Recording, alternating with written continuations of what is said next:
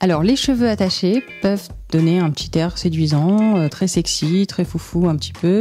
Ça peut être très sympa. Le cheveu lâché, évidemment, séduit beaucoup plus l'homme parce qu'ils aiment déjà les cheveux longs, ils adorent. Même si c'est un mi-long, ils aiment beaucoup que ce soit que les cheveux soient lâchés. Donc, pour un premier rendez-vous, on va plutôt opter pour quelque chose de lâché. Après, si on a envie de jouer le style très naturel, euh, comme je suis tous les jours, on va opter pour une pour une coupe de cheveux attachée, mais un peu floue.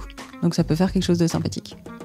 Le chignon peut faire un effet très strict comme un effet très décontracté. Si le chignon est très serré, bien attaché, euh, euh, type secrétaire ou, euh, ou, avocate, ça va faire un peu trop strict, ça risque de faire peur à un premier rendez-vous. Alors que si c'est un petit chignon porté bas avec quelques petites mèches qui tombent, quelque chose de flou, ça peut être très sympa et très séduisant.